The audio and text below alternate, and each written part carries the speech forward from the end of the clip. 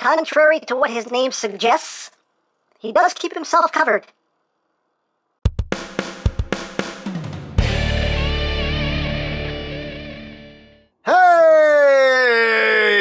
What's up, my peoples? EmGo here, the freaking geek himself, and today we will be reviewing the Hot Toys Justice League, The Flash. So here we are, and there he is. And first and foremost, as always, we'll take a quick look at the packaging. So right up front, we have a nice big image there of the Flash, Justice League of the Flash. On this side of the box, we have the Flash. On the other side of the box, we have the Flash. On top of the box, the Flash. On the bottom of the box, Justice League. On the back of the box, you can't save the world alone. Things and stuff, stuff and things. Warning, don't eat anything in this box. That could be very bad for you. And we remove the slip cover. And you have the big old window box right there. Justice League logo. The Flash, the Flash, and on the back you have the Flash symbol and the credits for all the people responsible for the production of this figure. And that's basically it for the packaging.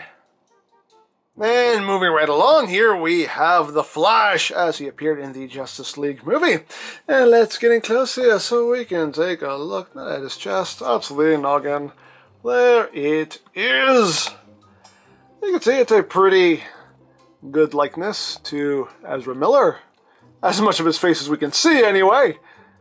I think it's a pretty good likeness. As always with Hot Toys figures, the eyes are just creepy how alive they look. It's always just kind of creepy. But you can see the helmet is very nicely detailed. You got some nice gold in there. Uh, the helmet does have, if you can see in there, got some scuffs going on.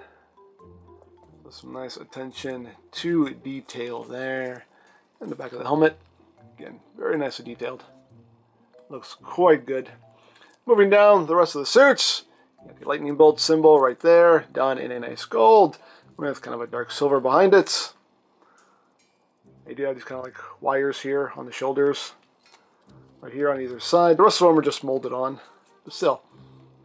It's a nice look. I do quite like the uh, the suit design for Flash. I thought it looked kind of cool.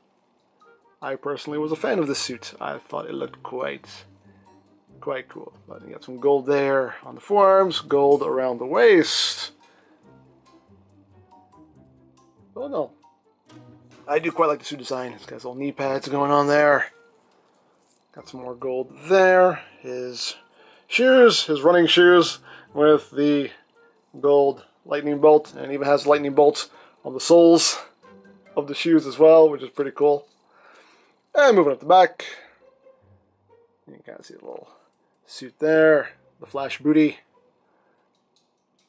Oh no, really cool suit design, in my opinion. Anyway, now, articulation-wise, um, this figure is weird. This is the first time that I have had a Hot Toys figure that's done this. I don't know if there are other figures that have done this, but this is the first Hot Toys that I know of that's done this. Um, his head is not connected via the standard ball joint like most Hot Toys figures. His head is on with a magnet.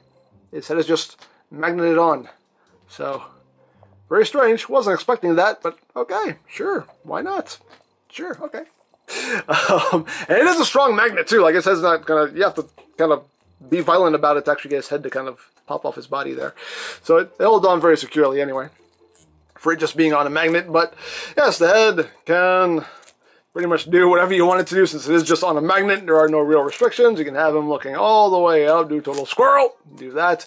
And uh, this section back here of the helmet is on a rubber piece, so this will flex back to make room for any upward head movement, which is nice. You can look down, head obviously can do a full 360. Uh, the neck joint itself can move forward and back a little bit, can move side to side a little bit. Uh, the arms can move forward about this far. It's about that's as far as the instructions tell you to push the arms, so you don't you know stretch the actual suit itself. Back, you can go back about that far. Outward movement, you can go out about that far. You do have bicep rotation. You have a double jointed elbow, so you get some good range of movement there. The wrists can rotate, and they're also on the hinge, depending on how you how you have that oriented. They can go pretty much any direction you want. You also have a little bit of waist rotation, not too much. Bit of an ab crunch as well. Legs can go forward, about that far, back, about that far, outward. If you move this out of the way here, that will flex You can get that far. You do have thigh rotation in there. Double jointed knee. So you have nice range of movement there. And the feet, they can move up. They can move down. You have tiltage as well as rotation. And also an extra bit of articulation in the shoulders that I forgot to mention is you do have that joint which allows the shoulder to move forward and back there. So you can kind of get his arms in front of him. So there you go. So now let's run through the accessories, no pun intended, not, not this time anyway. Uh, we do get the display base, which is quite cool, it looks like the uh, kind of loading uh, area, the loading ramp of uh, Batman's aircraft there, which is quite cool. You got Justice League plate right there, and you have the nameplate right there, the Flash, and pretty cool. Pretty cool display base there, and we can take Flash and just plop him down and it has the adjustable little cradle there that nestles him ever so gently in his nether region. And there you go, you have Flash on the base. As far as other accessories go, you do have optional hands. You get a pair of judo chop hands. Yaw, yaw, yaw, yaw, yaw. These are more for these are more for running poses, but they just still look like karate chopping hands. But hey, hey, your toy. You can do what you want with them. Still nicely done. Same amount of a detail and nice paintwork. So you get two of those. You do also get two closed hands, which do serve another purpose as well. You can see those are nicely done. You get this hand right here with the two finger point going on. So you have that. And you have just a single pointing finger here. And I guess that's to recreate the part in the movie where he just kind of taps Wonder Woman's sword to her when she's falling, just like, bing, yeah. So you can recreate that if you want to. Of course, you get a backup pair of wrist pegs, which is always appreciated. And you get a batarang. Can I keep this? Let's see. Done in a gunmetal gray. And the batarang is meant to be held in these hands right here. You can see the thumb has a little groove there and the batarang fits perfectly in there. You can put it in either hand if you want to. So you can hold Batman's batarang if you wish. And the last accessories that are included are some effects parts. You get some little electricy lightning effects parts here done in a transclearance blue. They are flexible. And you get these two, and you also get these two right here. So you get four total.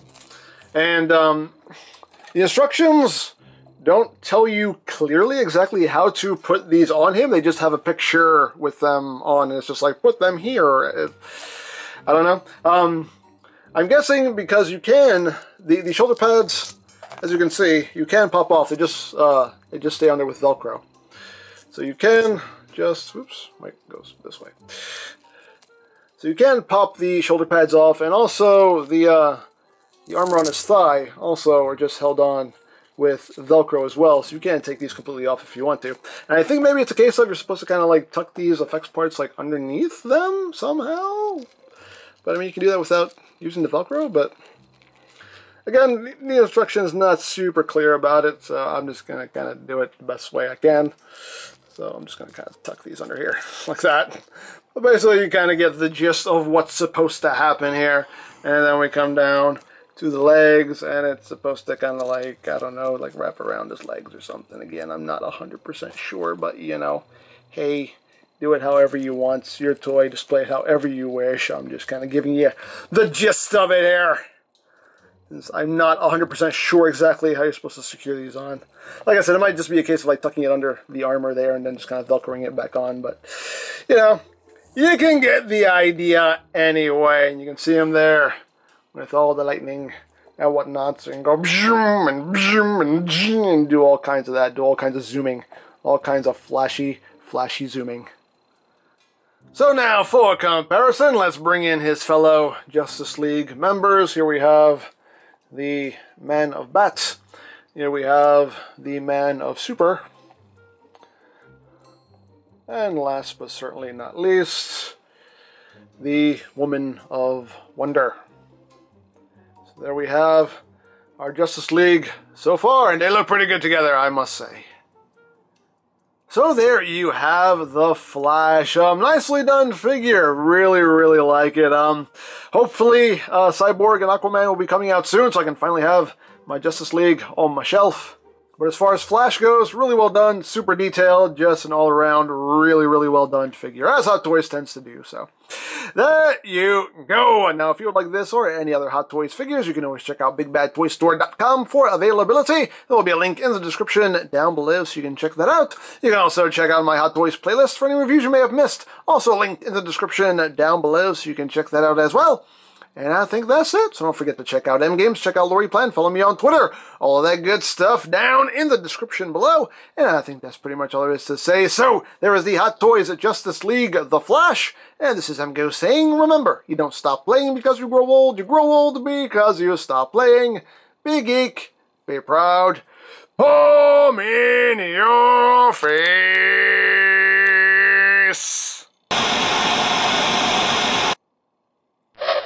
Hello, Mr. Batman, sir. What are you doing here, Speedy McRunfeet? Speedy McRun. Anyway, um, I'm here to help. Huh. I don't need your help. I'm the world's greatest hero. Nothing gets by me. Nothing. Well, if that were true, you would have seen me take your batarang. I will kill you. Gotta catch me first. Real heroes don't do cardio. They just pick up heavy things.